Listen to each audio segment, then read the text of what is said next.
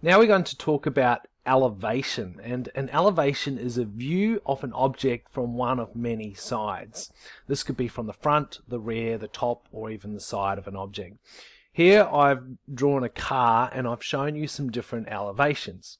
We have our front elevation which is the front of the car, we have a side elevation, the side of the car, and we also have what's called a plan view, which we mentioned earlier. A plan view is just basically a bird's eye view. The reason we need to draw elevations is because when people want to purchase things, they'd like to see an image of things from different angles. Anyway, we're going to move on to our example now, example 2, and we need to do three elevations. We need to do a plan view, a side elevation, and a front elevation. And we're going to do it for the image drawn at right. So we'll start with question A and look at our plan view, which is our view from above, or the bird's eye view. What would we see if we were looking from above? I'm going to colour it in red. I would see four different squares from above. So how would I draw this plan view? Well, it's actually going to make an L shape. I'm going to draw my four squares in an L shape like so.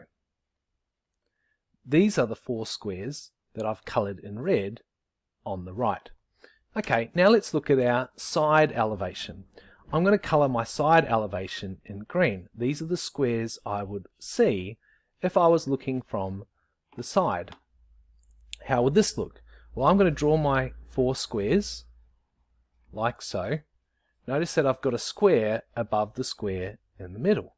That is what my side elevation would look like. And finally, I've got my front elevation, which I'll do in purple. These are the squares I would see if I was looking from the front. I would only see three of the squares.